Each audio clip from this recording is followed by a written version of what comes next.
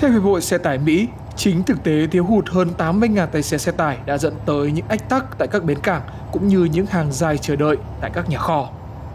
Theo một nhà nghiên cứu Hàn Lâm, một yếu tố khác đó chính là việc các tài xế xe tải không được phân công công việc hiệu quả bởi họ chỉ lái 6 tiếng rưỡi một ngày trong tổng số 11 tiếng được cho phép. Lực lượng này thường xuyên chỉ được khai thác ở mức tầm 60%. Theo ông Correll, lý do rất rõ ràng. Cái cách mà họ thường lên lịch cho cánh tài xế xe tải tới lấy và chuyển hàng, cũng như cái cách họ tận dụng thiếu hiệu quả quỹ thời gian của những người lái xe. Một người tài xế xe tải tên Bill tới cảng mỗi ngày. Anh là một di dân gốc Trung Quốc và không muốn tiết lộ tên đầy đủ.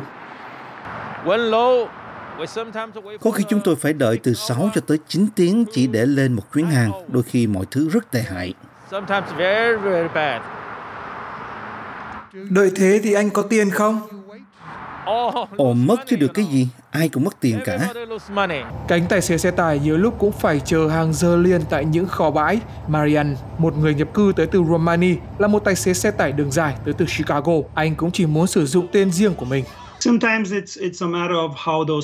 Đôi khi vấn đề chỉ là cách mà các công ty hoạt động, cách mà họ đào tạo nhân viên và liệu họ có quan tâm đến những gì bạn đang làm hay không. Và thực tế là chúng tôi cũng phải kiếm tiền nữa. Uh, make money. Cánh tài xế xe tải có thu nhập tốt, vậy nên rất nhiều người muốn tham gia. Chủ một trường đào tạo nhân viên điều phối xe tải cho hay. Tuy nhiên, các học viên phải quyết định xem liệu họ có sẵn sàng nhận công việc vốn đòi hỏi cao này hay không. Điều này quyết định xem liệu bạn có phải là người phù hợp cho công việc này hay không. Chính quyền Biden hy vọng có thể bù đắp thiếu hụt nguồn nhân lực bằng cách mở rộng các chương trình thực tập cũng như đào tạo các cựu chiến binh trở thành tài xế xe tải. Tuy nhiên, tỷ lệ đào thải là cao và một nhà phân tích khác cho biết chúng ta cần đặt câu hỏi vì sao. Hiện nay tại Mỹ có khoảng 3 triệu rưỡi công việc đòi hỏi bằng lái xe thương mại, thứ mà cánh tài xế gọi là CDL. Chúng ta có khoảng 10 triệu người tại Mỹ có tấm bằng đó trong tay. Một vài trong số đó vận hành những thiết bị hạng nặng, trong khi những người khác chuyển sang làm cho các ngành khác như xây dựng bởi họ qua chán ngán những nguyên tắc cứng nhắc của việc lái xe. Ví dụ như luật quy định họ phải ngủ khi nào, bất kể họ có tìm được chỗ an toàn để làm việc đó hay không.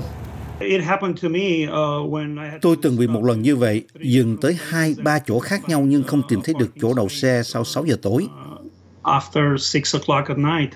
Marian cho biết anh yêu công việc rong ruổi trên đường, nhưng nhiều đồng nghiệp than phiền với anh và cả với chuyên gia xã hội học Steve Viselli. Rất nhiều người cảm thấy tức giận, cảm thấy không được coi trọng. Những người lái xe nói rất nhiều tới sự tôn trọng.